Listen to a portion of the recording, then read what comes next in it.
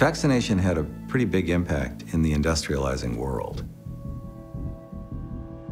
By the mid 1900s, smallpox was pretty much a thing of the past in countries like the United States or in Europe.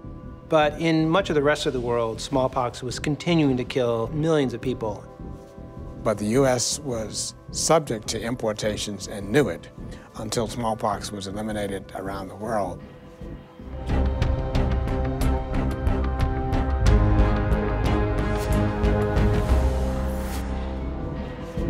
During the 20th century, there were outbreaks triggered by people returning from voyages from afar. They caught smallpox, they went back to their countries of origin and took smallpox with them. In 1947, some travelers came to New York City, and one of them died of smallpox and had gone to every major tourist site before coming down with the disease.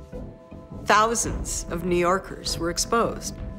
The smallpox vaccine was effective if you could immunize people within a few days of when they had been exposed to smallpox. So millions of people lined up to be immunized. And in six days, almost every single New Yorker got a smallpox vaccine.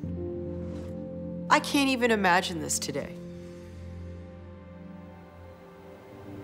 There's no way to prevent the movement of viruses in a world where planes exist.